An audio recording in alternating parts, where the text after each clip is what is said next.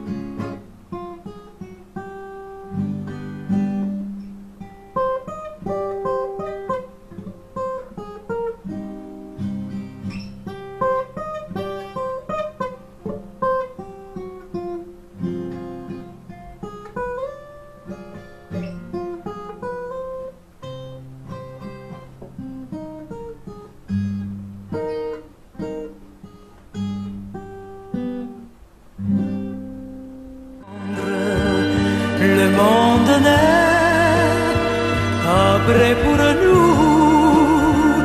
Il dirait tout simplement que nous sommes faux.